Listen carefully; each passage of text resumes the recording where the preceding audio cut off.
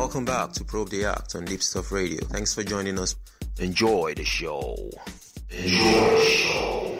Enjoy the show.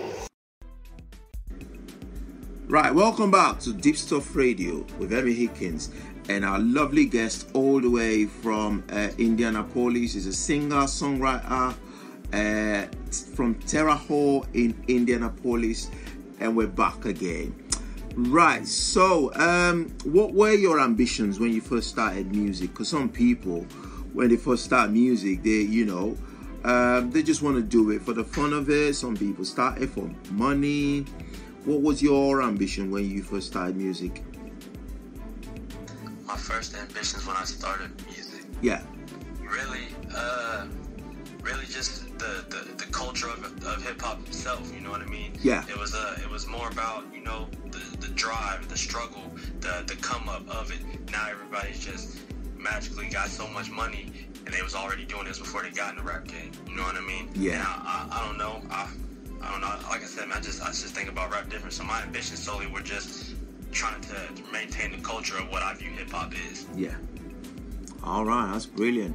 Yes. Yeah, so, um, I mean, I've heard your music, but um, for somebody who's never had the chance to hear your music, how would you describe it?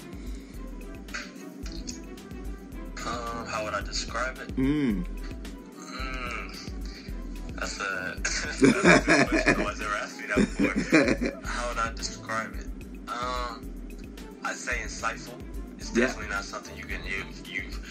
I don't know. I view myself as my style's kind of different from Yeah. anything you've heard, especially in the last five, six, seven years. You know Mm. what I mean? It's uh, it's unique. The if I had to say insightful and unique would be my two words. Yeah. Brilliant, brilliant. So, um, have you had any albums out? Uh, no albums. I've had uh, I have five mixtapes. I really I've been uh, doing this for a year and a half. I put out like fifty some songs. Yeah. So I've just been pretty much one after another. Yeah, yeah, and yeah. yeah, You've been very busy, aren't you? yeah. uh, yeah. So, um, have you played any gigs lately? no, I actually have some uh, supposed to be scheduled here late, uh, early to late September. Mm-hmm. Supposed to be doing some down uh, in a state called Tennessee. Right. Oh, I love that. I love that. Do you remember that song back in the days? It was by a group called Arrested Development, and it was just Tennessee, Tennessee, Tennessee. I don't know if you can remember that. No, I actually don't. No, oh, come on, man. That's the only way I remember Tennessee because it just kept going Tennessee, Tennessee, Tennessee, Tennessee. And, and, that, and that's the only thing that got stuck in my head about Tennessee. I've never actually visited America, so I don't really know much about the States. Anyway, so um, this is a question that I ask most artists. Um, and it is what is the first step to making a new song for you? Because some people write to the music, and some people um, write the music first, and then the and then they write, Well, and then they look for the beat.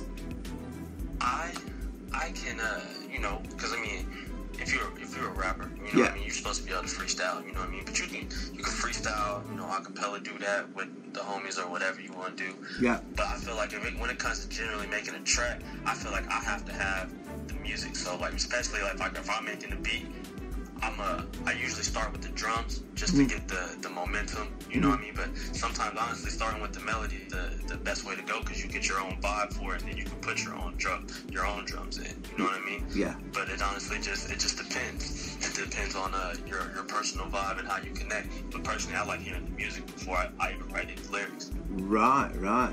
You'll be like, because I feel like the music itself brings out that that that personal vibe that you felt when you heard that song. Yeah, that's the, true, that's yeah. vibe you want. That's true, yeah. Because that's how Tupac writes his song, doesn't it? He gets the beat going and then he starts sort of coming out with the lyrics to it. his own rhythm Yeah, he know what I does. Yeah, he does, doesn't it? whole league get there one day I love Tupac. Anyway, um, so we're gonna take a short break now. Please don't go away. Um, we'll be back shortly. Um, we've got Still Smoky in the studio, um, all the way from Terre Haute uh, in Indianapolis. And we'll be back shortly. Please don't go away.